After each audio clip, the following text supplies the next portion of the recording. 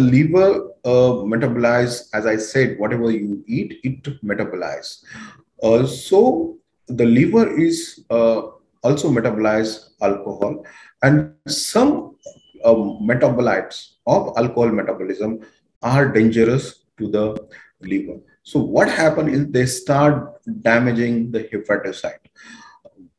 And it, it is going to be a over long period of time. So if you consume uh, about 180 ml of alcohol every day for almost 10 to 11 years, then you will develop the liver uh, problem.